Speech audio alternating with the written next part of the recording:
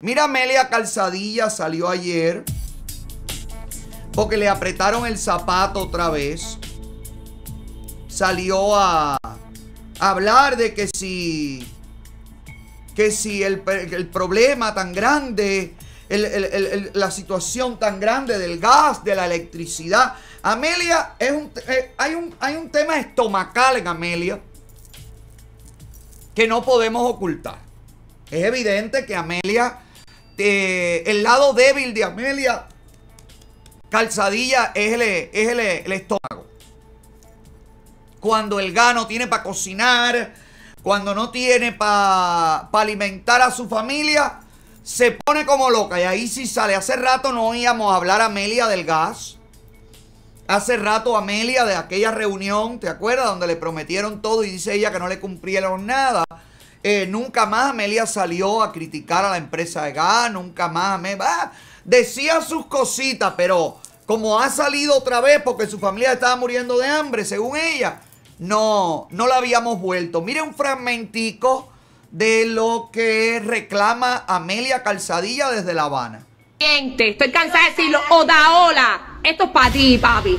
Directico para ti, porque estoy con el moño super virado. Deja de decir que a mí me pusieron el GAMI, hermano.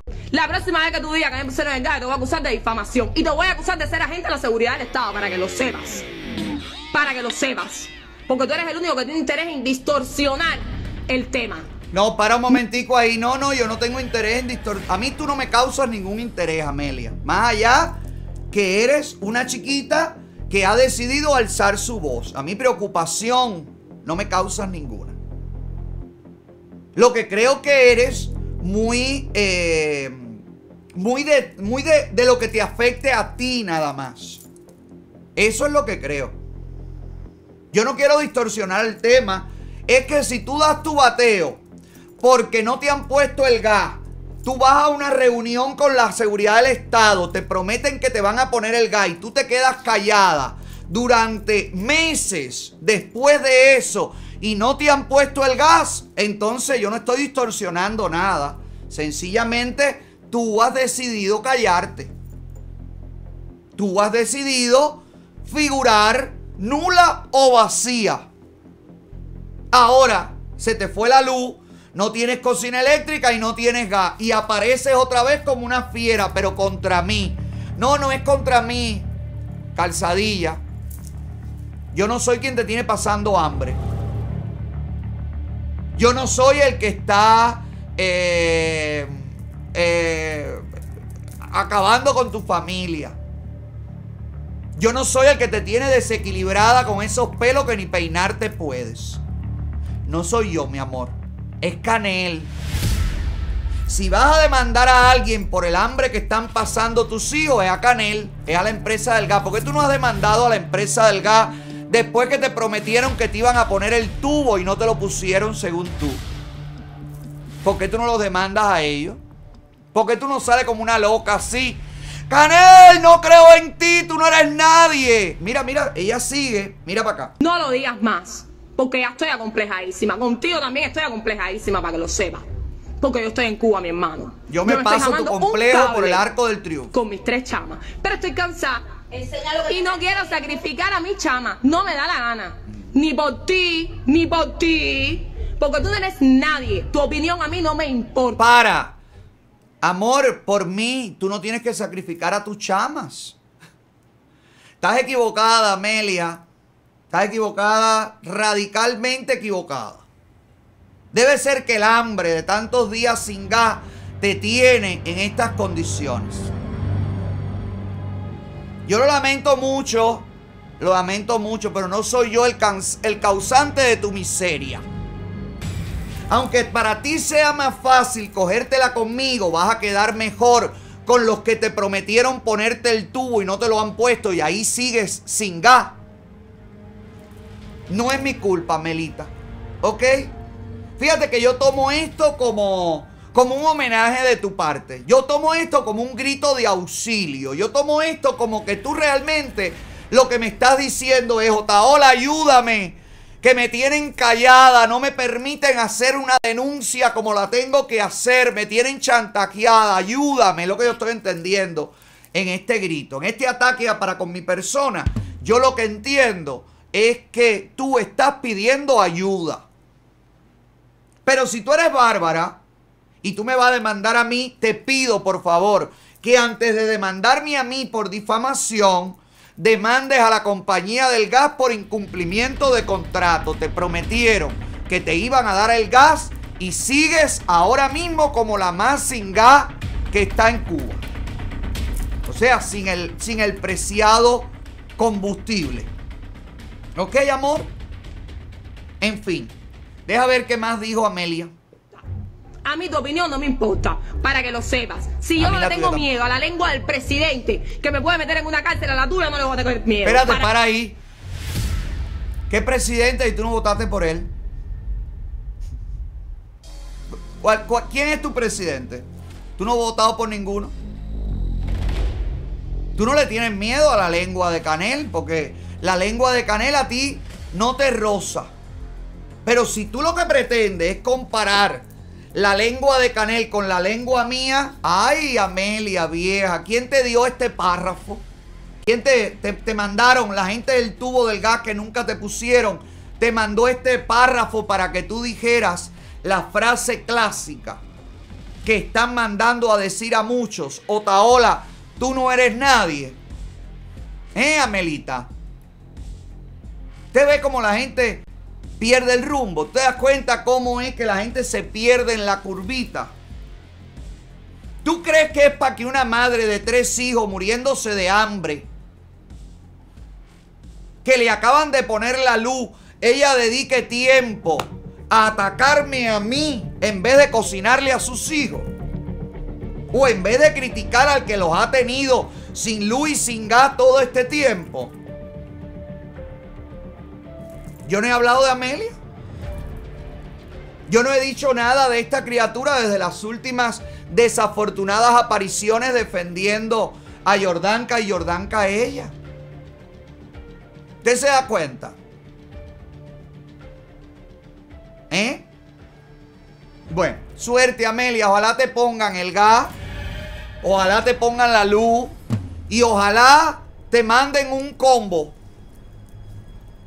Porque yo creo que aquí hay problema de chaucha grande. Esta niña tiene el cerebro conectado directamente al estómago. Como la mayoría del pueblo cubano, lamentablemente. Por eso es que usted ve que llegan aquí y eh, eh, son el pan con bistec en su mayoría. Mira, Amelia no está sola. Hay mucha gente que cree que yo soy el culpable de todos sus males, ¿verdad, abogado?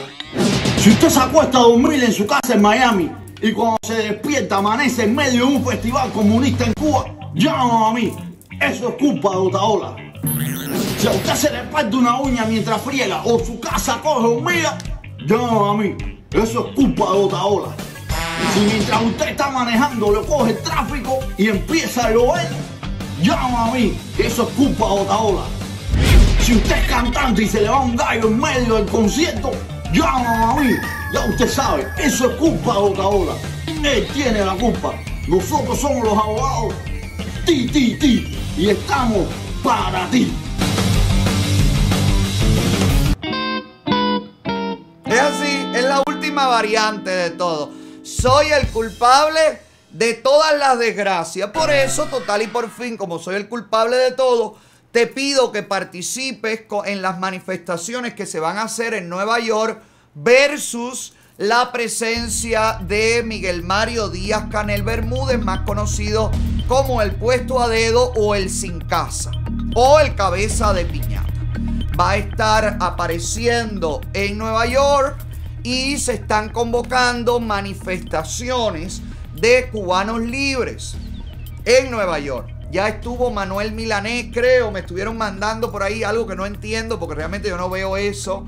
Eh, supuestos correos de colaboradores de Manuel Milanés que sacó el guerrero cubano diciendo que si Rosa María que si estaba convocando, que yo no hablé- yo no he hablado con Rosa María hace años, hace, hace meses, no sé nada de lo que se está convocando desde Cuba Decide en Nueva York, pero desde este programa sí le decimos a todos los cubanos libres que si hay manifestaciones en Nueva York como las que están convocadas, ve a ver Sandy si encuentras el cartel, por favor.